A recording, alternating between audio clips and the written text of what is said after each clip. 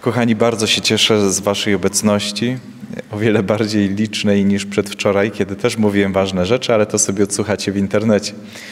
Tam zachęcałem do modlitwy za kapłanów, bo to oni są przewodnikami dusz, dusz dorosłych i dzieci, i to od ich świętości zależy Wasza świętość jako rodziców, wychowawców, a z tego też świętość Waszych dzieci. I też zachęcam, aby modlić się o ochronę serc dzieci i młodzieży, bo to jest ich największy i najcenniejszy skarb, który otrzymali od Pana Boga. Dlatego też poniekąd już nie będę wracał do tego, co tam było powiedziane, bo bym chciał już pójść jakby krok dalej. I jeszcze raz proszę, żeby te osoby, które, jak już ten materiał pojawi się w internecie, żeby po prostu sobie go obejrzały, to też będzie takie dobre uzupełnienie tematu. Dzisiaj idziemy jakby poziom wyżej, to znaczy w tym sensie, że mówimy już o tych przypadkach y, trudnych. Jak sobie z nimi radzić? Niestety coraz więcej osób, to znaczy rodziców, wychowawców, zwraca uwagę na to, że zaczęły się pojawiać w ich pracy, czy to na przykład nauczyciele w szkołach, y, czy kapłani na parafiach, czy też sami rodzice, zaczęły pojawiać się takie przypadki, z którymi po prostu sobie już nie radzą, że całe ich doświadczenie no, jakby legło w gruzach, że nie da się przypasować do problemów dzisiejszej młodzieży e, tych rozwiązań, które były kiedyś w przeszłości. Ktoś mógł sobie z tym radzić przez długie lata, dzisiaj no niestety mówi nie daje rady, nie mam pomysłu, zawiodły wszystkie moje wcześniejsze e, doświadczenia, rozwiązania, umiejętności. To dobrze, że tak jest, bo, bo jest źle, kiedy człowiek wciąż odwołuje się do swoich własnych doświadczeń, do tego, co już kiedyś raz mu się udało. Jak to też często mówią nauczyciele, ilekroć przychodzi nowa klasa, nowe pokolenie, to wszystko trzeba weryfikować. Pamiętam jednego z wykładowców na moich świeckich studiach, ale to samo było też w seminarium. Tacy wykładowcy też byli. To przeważnie byli starsi profesorowie, którzy przychodzili na wykłady z jakimiś gotowymi karteczkami pożółkłymi i y, czytali nam wykłady przygotowane przed 20 czy 30 laty, kiedy cały świat się zmienił dookoła. Y, to tak być też nie może w życiu rodzica czy wychowawcy, że my wciąż będziemy odwoływali się do tego, co my sami znali, znamy. Bardzo często to są odwołania do naszych własnych doświadczeń.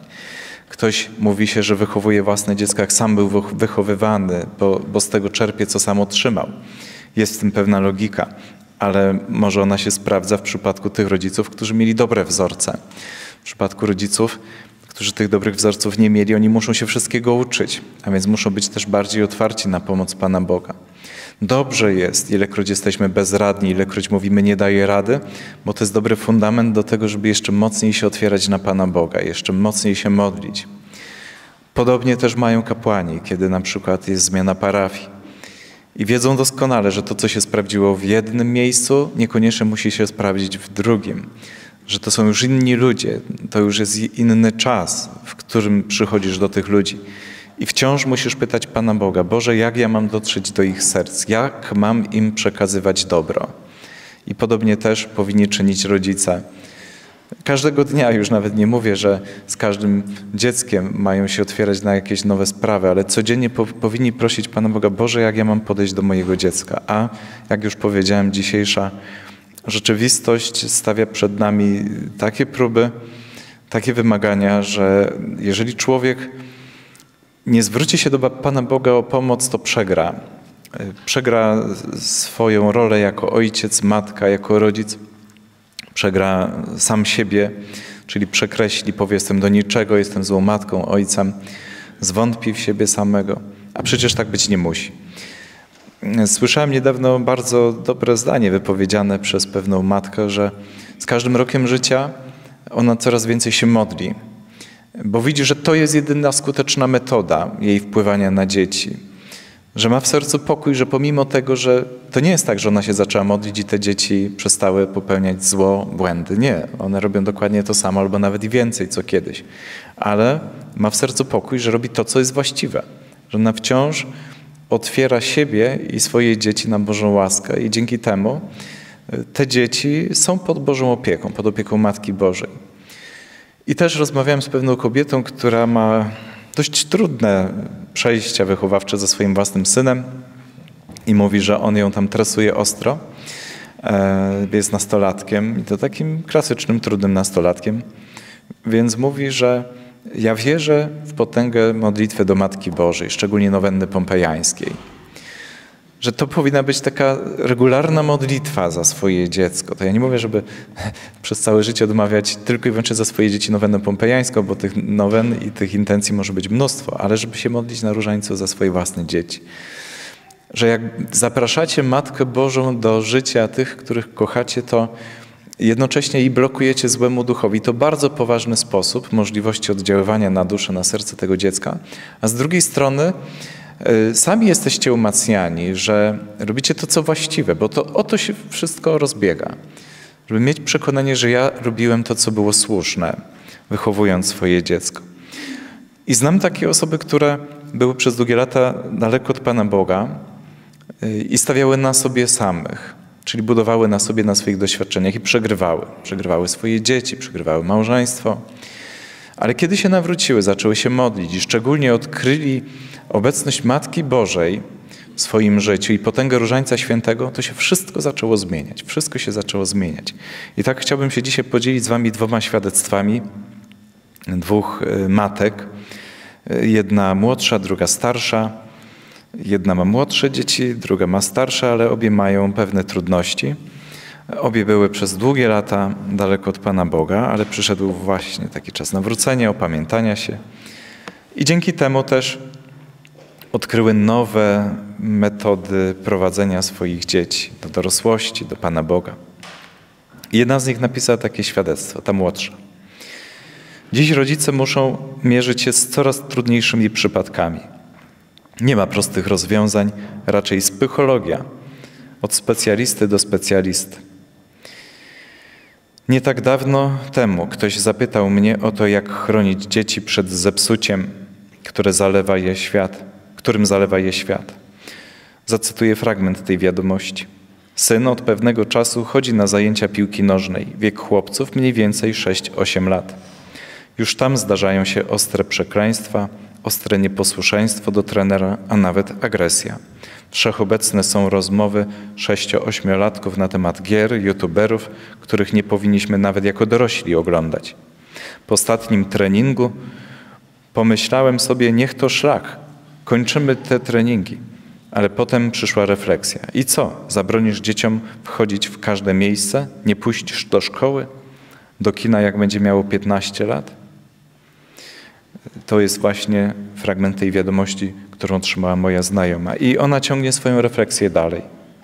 No nie zabronisz, chociaż jako rodzic masz prawo i obowiązek być przewodnikiem dziecka, wytyczać granice, ustalać zasady i być w tym konsekwentnym.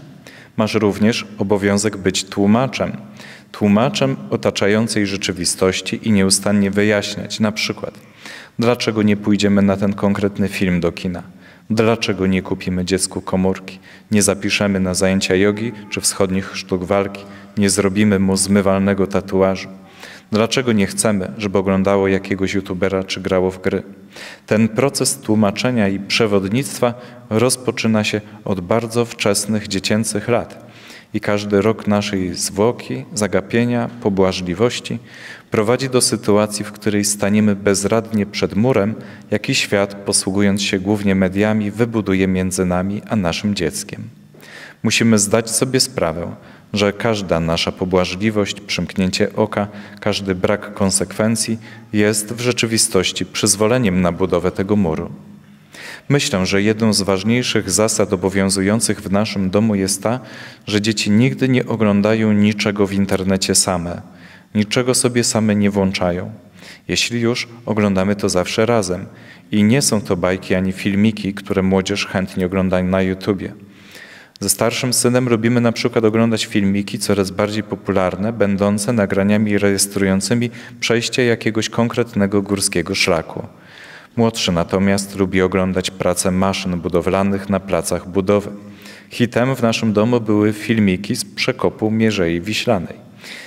I tutaj istotna dygresja.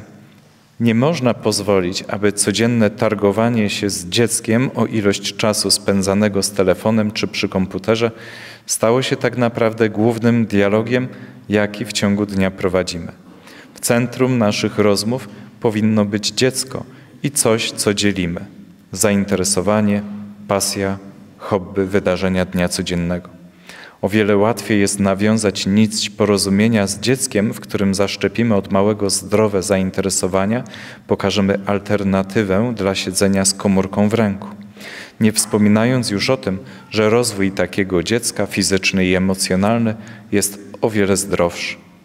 Nasz starszy syn połknął bacykla górskich wędrówek i widzę, jak bardzo buduje to jego odporność emocjonalną na trud, wysiłek, porażki, nieprzewidziane sytuacje. Jak buduje jego cierpliwość, wytrwałość, opanowanie, wiarę w siebie. Takie chwile wspólnej rodzinnej aktywności są dla nas bezcenne i staramy się je organizować, kiedy tylko możemy. Wybieramy się więc na weekendowe długie wycieczki, głównie piesze. Po drodze rozmawiamy, słuchamy razem muzyki. Zastanawiamy, mój syn nie zaskakuje ostatnią ulubioną piosenką starszego na wspólne wędrówki to Z Tobą chcę oglądać świat w wykonaniu Zbigniewa Wodeckiego i Zdzisławy Sośnickiej, a młodszy woli iść w stronę słońca zespołu 2 plus 1.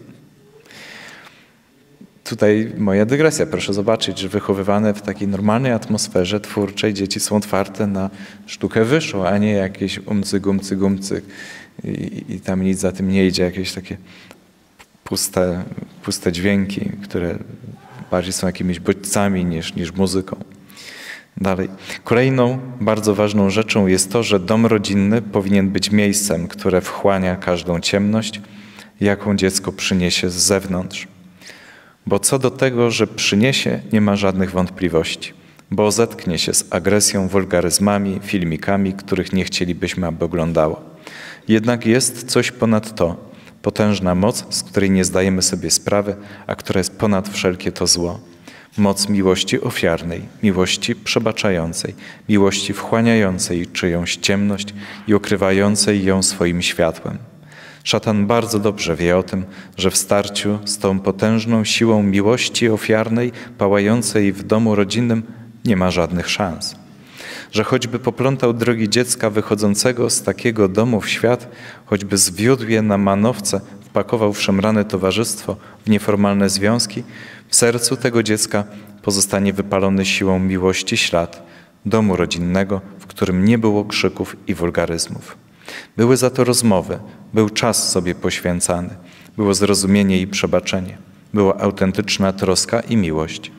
Była siła miłości ofiarnej czerpana z modlitwy i nieustannego zawierzania codzienności Bogu. Jeśli w dodatku oddamy nasze dzieci na własność Matce Bożej, możemy być pewni, że ona nie pozwoli naszym dzieciom zginąć na wieki. Choćby nie wiem, jak pogubiły się w swoim dorosłym życiu, ona je zawsze znajdzie i będzie się wstawiać za nimi.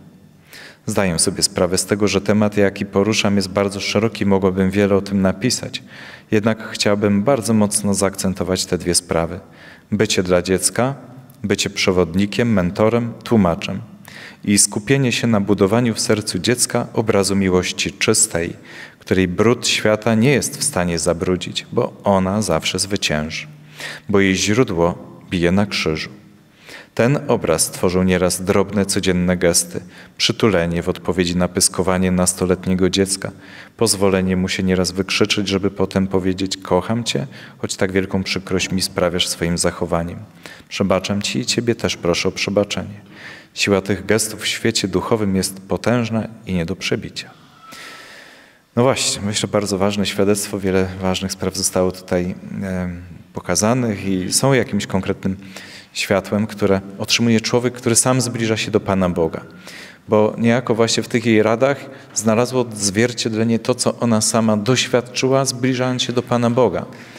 A więc odkryła przede wszystkim w Bogu, a szczególnie właśnie w osobie Matki Bożej, bo wiem, bo znam tę osobę, kogoś, kto nie nakazuje, że masz robić to i to, tylko cierpliwie nam tłumaczy, i jak czytamy Pismo Święte, Ewangelię, szczególnie słowa Jezusa Chrystusa, to widzimy, że tak właśnie jest. Cierpliwe tłumaczenie, dlaczego warto iść za dobrem, a dlaczego zło w życiu się nie opłaca. I ten jej stosunek, y, stosunek, który doświadczyła od Boga względem samej siebie ona przekłada teraz na swoje własne dzieci. Widzi, że tak jak ją to doprowadziło do nawrócenia, czyli do odcięcia się od zła, tak samo może się sprawdzić, kiedy ona, jako matka, prowadzi swoje własne dzieci ku dorosłości. Że nie tylko same zasady, nakazy, zakazy, ale właśnie cierpliwe przewodnictwo, tłumaczenie i konsekwencja. To nie jest tak, że nie widzimy co jest dobre, co jest złe. Oczywiście to musimy wiedzieć i tutaj też właśnie rola modlitwy i poddania się Bożemu prowadzeniu, ale też w taki sposób tłumaczenie, dlaczego coś jest złe, aby dziecko, młody człowiek mógł to przyjąć.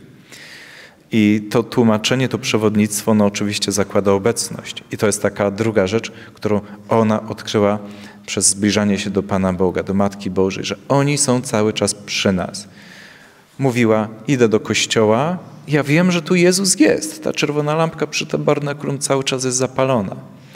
Zaczynam modlić się na różańcu i doświadczam obecności Matki Bożej. Ona, wielu ludzi tak ma po nawróceniu, że wręcz fizycznie wiedziała, że Maryja przy niej natychmiast jest obecna. Mówiła albo czułam zapach róż, albo jakieś takie duchowe przytulenie. Ja wiedziałam, że ona przy mnie jest. Zawsze, kiedy ją wołam, ona przy mnie jest. I ona sobie pomyślała, przecież ja dokładnie to samo mam robić że kiedy to moje dziecko mnie potrzebuje, ja przy nim mam być. Ja nie mogę być matką czy ojcem na odległość. Przyjadę za dwa tygodnie. Ty masz dziś sprawę do Pana Jezusa i liczysz, że On tutaj będzie na Ciebie czekał. Nie ma karteczki, wracam za dwa tygodnie, jestem na urlopie. Pan Jezus. Nie ma czegoś takiego, On przy nas jest cały czas. To samo Maryja. Bierzesz do ręki różanie, zaczynasz się modlić, ona przy Tobie jest, fizycznie, duchowo jest chociaż jej nie widzisz. Niektórzy, jak powiedziałem, mogą coś doświadczać. I ona tą obecność, wartość obecności dla budowania wewnętrznego pokoju odkryła właśnie sama zbliżając się do Pana Boga i do Matki Bożej. I widzi, przecież ja nie mogę tego zabrać moim dzieciom. Przecież mnie to tak zmieniło, że ja nabuzowana wpadałam do kościoła, no i potem pokój serca, bo, bo, bo jest ktoś, kto to ode mnie zabrał. I tak samo kiedy twoje dziecko nabuzowane wraca ze szkoły czy, czy tam skądś, to no liczy na to, że będzie ktoś, kto je przytuli, zrozumie, wysłucha, przy kim będzie mogło się właśnie też wykrzyczeć, odreagować, ale ten rodzic będzie. Dlatego niech to właśnie będzie dla Was też taką zachętą na zwrócenie uwagi na sprawę tej obecności, bo z tym dzisiaj jest bardzo, bardzo poważny problem. Problem weekendowych rodziców, rodziców raz na miesiąc. Tak po prostu się nie da doprowadzić Pana, swoje własne dzieci do, do Pana Boga. E, I, i, I potem też kolejny właśnie fragment, który uważam za szczególnie ważny, to, to żeby nie umiejętnie kierować tą aktywnością dziecka. One rzeczywiście się bawią w to targowanie, co mi wolno, co nie wolno. No, najczęściej chcą się targować i negocjować o te zabronione sprawy i nie iść w tym kierunku, że tutaj bardzo ważne jest to, żeby umieć mądrze prowadzić te rozmowy i dialogi dziecka na to, co jest twórcze, na jakieś pasje, y, hobby, zainteresowania. To, to jest właśnie mądre, umiejętne prowadzenie rozmowy z dzieckiem. I w końcu to, co już nawet jak czytałem, przerwałem, że ta przemiana będzie widoczna też w takim roztropnym wybieraniu przez dzieci to, co jest dobre, a odrzucanie tego, co jest szkodliwe. Tutaj akurat no, zastanowienie, wielkie zdziwienie rodziców, że ulubionymi piosenkami tych dzieci no, jest klasyka polskiej piosenki, to taka bardziej wymagająca.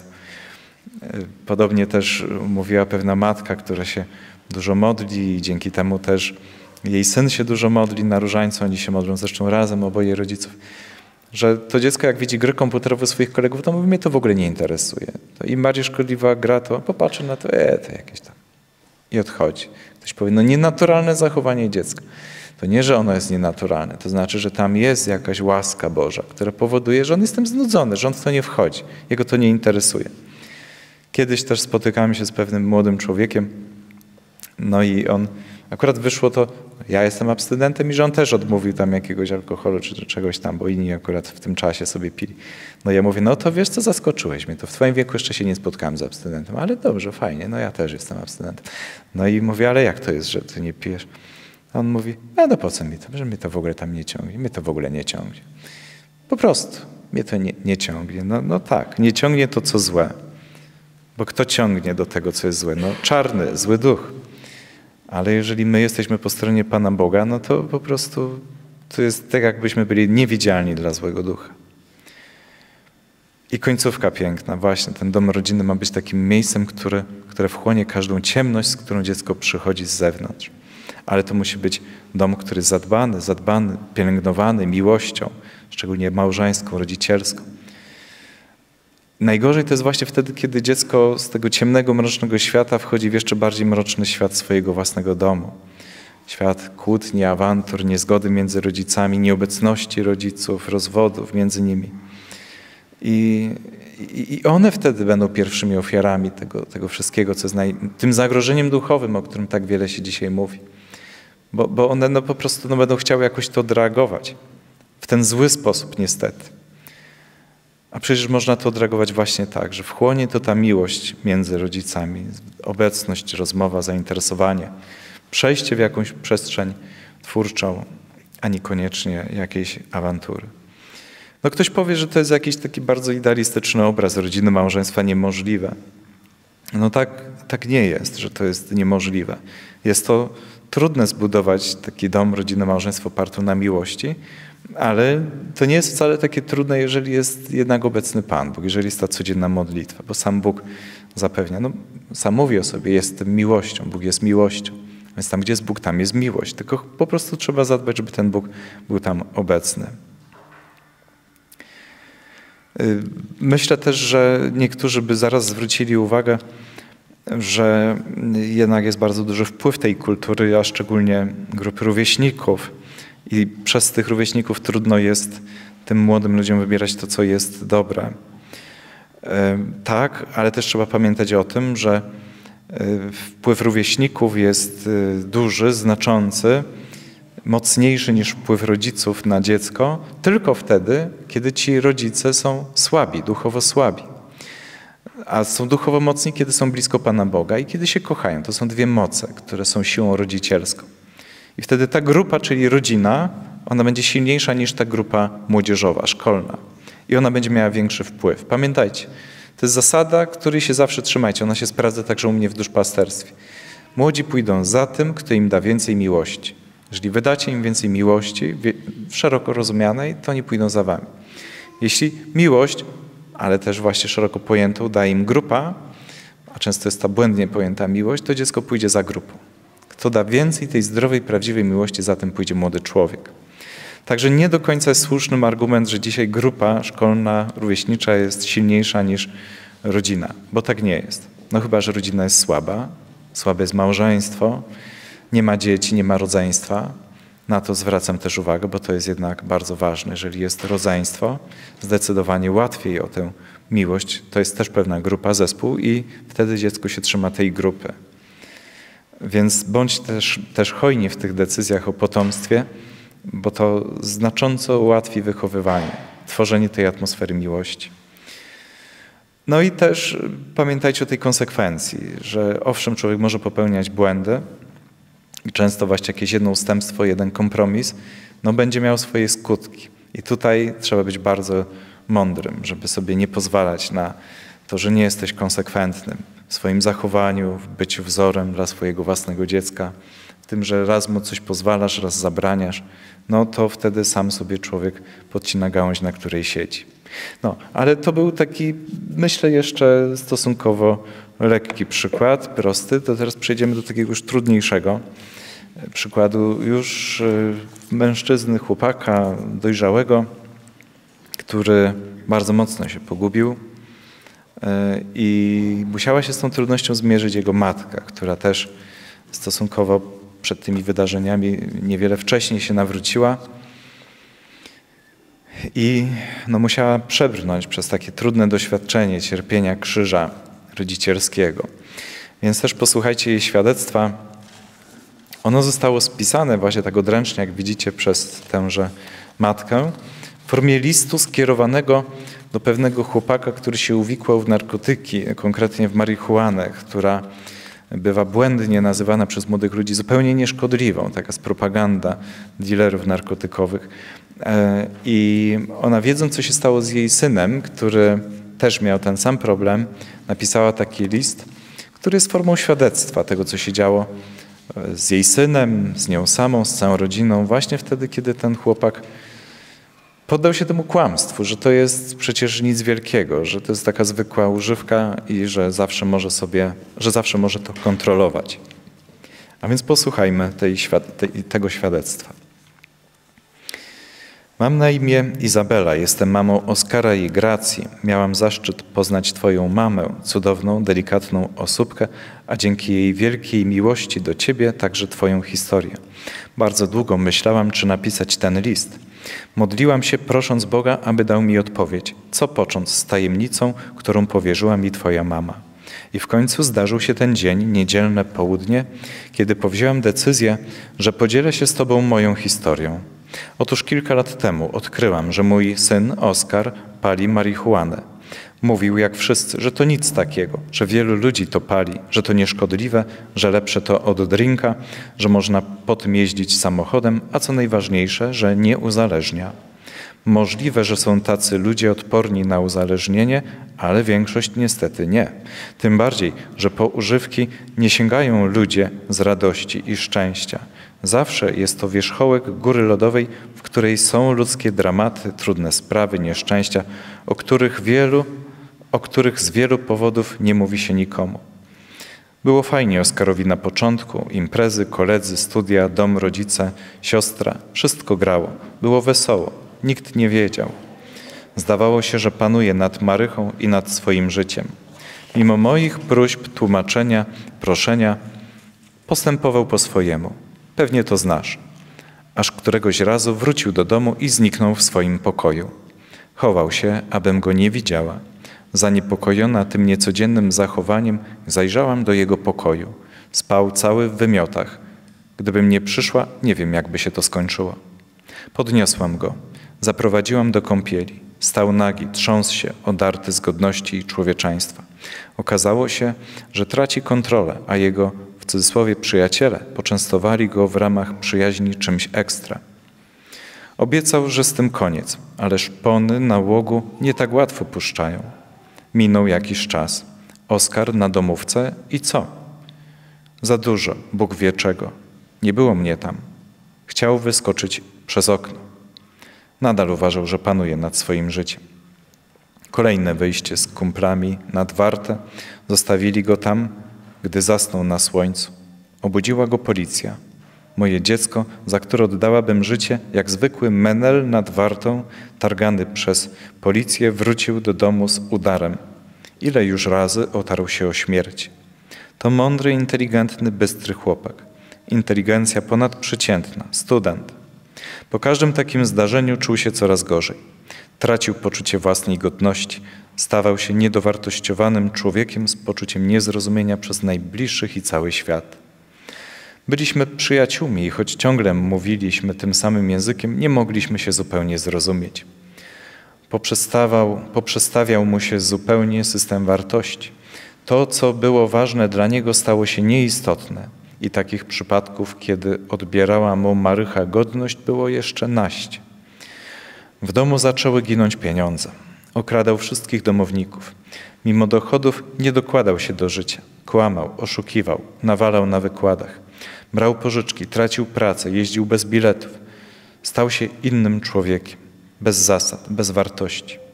Tracił miłość najbliższych i zainteresowanie. Jak myślisz, jak się czuł? Jeszcze gorzej? Błędne koło.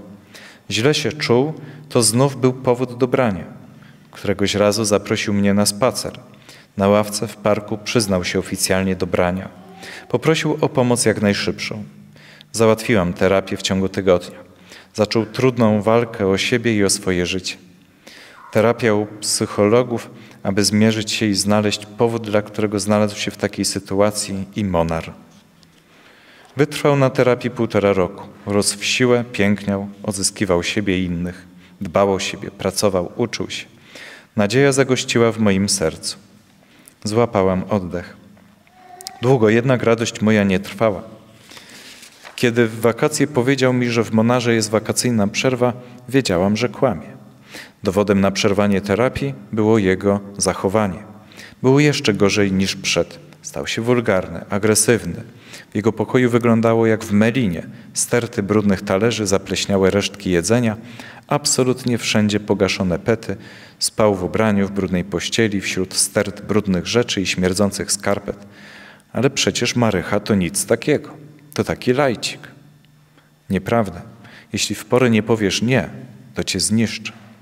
Wywrócił nasze życie, całej rodziny do góry nogami. Nie mogliśmy spać, bo wracał kiedy chciał. Zapominał odebrać siostrę z przedszkola, bo stracił odpowiedzialność. Kiedy była chora, wsadził siostrę z gorączką do samochodu i pojechali kupić działkę. Zapytasz, skąd o tym wszystkim wiem? Otóż od niego samego. W trakcie terapii jest taki moment odkłamania. Tak to się nazywa, kiedy pacjent przyznaje się do tego, co wcześniej ukrywał. Także, jak widzisz, mam wiadomości z pierwszej ręki. W końcu z powodu zachowania musiałam zmusić go do wyprowadzki. Nikt nie chce mieszkać z osobą uzależnioną, awanturnikiem, złodziejem. Przykre to, kiedy mówisz takie słowa o własnym dziecku.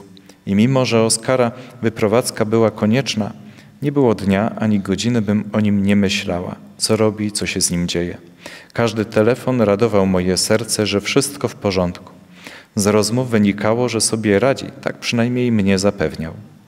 Podejmował i tracił kolejne prace. Zapoznawał i tracił kolejne dziewczyny. Używki niszczyły jego mózg, postrzeganie prawidłowe świata i ludzi. Gdy nas odwiedzał, często nie wiadomo czemu, stawał się agresywny, musiałam wystawiać go za drzwi. Jego mała siostra nie wiedziała, co się dzieje. Ja płakałam, przecież tak bardzo go kocham. Chciałam z nim być, rozmawiać, śmiać się jak dawniej, rozprawiać w kuchni do późnej nocy, chodzić razem na spacery. Ale nauk zniszczył wszystkie relacje z nami i z siostrą, która kocha go ponad wszystko i bardzo potrzebuje. Każdy człowiek jest potrzebny drugiemu, bo odgrywa w jego życiu ważne role. Często nie zdajemy sobie sprawy z tego, jak ważni jesteśmy dla innych i że nie da się człowieka zastąpić żadnym innym. Oskar odwiedzał nas coraz rzadziej. Przychodził zaniedbany, ktoś go pobił, miał ukruszone zęby. Ten śliczny, przystojny chłopak nie przypominał dziecka, które wychowałam ani z wyglądu, ani z zachowania. Rozdzierało mi się serce i dusza. Czułam, że przegrywam z nałogiem. Żadna rozmowa nie przynosiła rezultatów. Żadna forma pomocy, podawania ręki mojej, mojej siostry, jego dziewczyny, którą otrącił – bo była trzeźwa i nie pozwalała na to, co robił, nie przynosiły skutku. Żyłam w stresie, którego nie da się opisać. Kiedy zdarzało mu się być u nas, potrafił mnie szarpać. Wyłamywał zamki. Drzwiach chciał zrzucić mnie ze schodów i krzyczał, że mnie zabije, bo ktoś to zrobić w końcu musi. Kochając go do nieprzytomności, bałam się go. Taką to tragedię w życiu powoduje to niewinnie zaczynające się popalanie. Gdy nie miał gdzie spać, przychodził na ogród i spał na trawie, odarty z godności za wszystkiego, co niesie ze sobą człowiek. Kiedy następnego dnia odkrywałam taki stan rzeczy, płakałam. Tak przykro mi było. Nie potrafię nawet nazwać ilości emocji, jakie we mnie rodziły się w tych wszystkich momentach. Bezsilność, złość, smutek, zawód, tęsknota, lęk, strach, rozpacz matki, która nie potrafi pomóc. Potem zrozumiałam, że pomóc można tylko temu, kto tej pomocy oczekuje i kto złapie podaną mu dłoń. Kolejny etap Oskar zostaje wyrzucony z mieszkania, sprzedaje komputer, nie ma telefonu, już nie mogę do niego zadzwonić, nie wiem gdzie jest, co się z nim dzieje.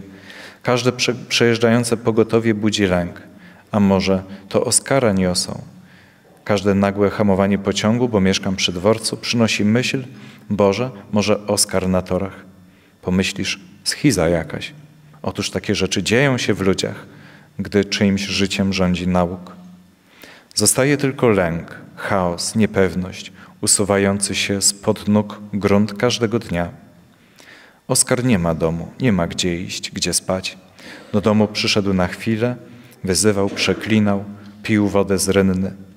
To był czwartek. W piątek wyjechałam na działkę z Gracją, z siostrą Oskara. Byłam przeszczęśliwa, że udało mi się załatwić urlop. Poniedziałek w południe zadzwoniła do mnie sąsiadka z informacją, że szuka mnie policja. Grunt usunął mi się spod nóg. Wiedziałam, że stało się coś złego. Serce chciało wyskoczyć z piersi, kręciło mi się w głowie. Niewyobrażalny lęk paraliżował moje ciało. Wróciłam do domu.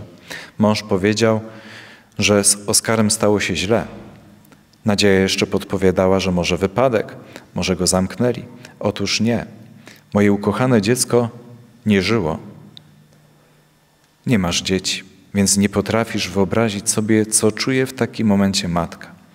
Złość na siebie, ogromny żal. Dlaczego on? Smutek, bunt, ogromna strata, żal, niewyobrażalna pustka. A stało się to tak. W sobotę 9 lipca 2016 roku poszedł do kolegi, którego, jak się później okazało, znał tylko rok. Nie miał domu, właściwie niczego, tylko BMX, który i tak stał zepsuty, bo nie miał za co go naprawić. Poprosił o nocleg, bo nie miał gdzie pójść. Ugościli się, pogadali. W niedzielę Oskar źle się poczuł, położył się i potem, a kolega poszedł się wykąpać. W tym czasie Oskar zmarł. Zawołane pogotowie nie było w stanie już pomóc. Myślałam, że przedawkował, że wróciły dopalacze, że to go zabiło. Czekałam w niepewności, z wyrzutami sumienia i poczuciem winy. Kilkanaście tygodni, zanim przyszły wyniki sekcji zwłok. Czas, w którym każdy dzień rozrywał serce. Płakał mój mąż, płakała siostra. Dostawała ataku szału z bólu za stratą brata. Rzucała wszystkim, co było dokoła. Oskar odszedł w dniu jej urodzin, 10 lipca. Po badaniach okazało się, że zmarł na zator płuc. Dla mnie ulga, śmierć nastąpiła bardzo szybko, ale w krwi odnaleziono morfinę. Nie była to dawka śmiertelna, ale też nie terapeutyczna.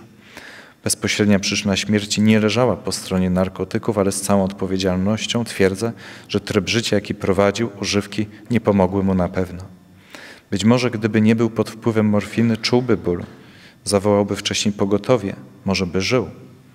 Nie musiałabym dziś przytulać zdjęcia do siebie. Siostra jego z bólu i tęsknoty nie obchodzi już urodzin. Zachorowała na ciężką chorobę z autoagresji, łysienie plackowate. Moje życie i nikogo z nas nigdy już nie będzie normalne. Nigdy już, Gracja, nie, nie, nigdy już Gracji nie weźmie na spacer, nie zjemy razem wigilii, nie poprosi mnie o herbatę. Pustki, która po nim została, nie wypełni nic.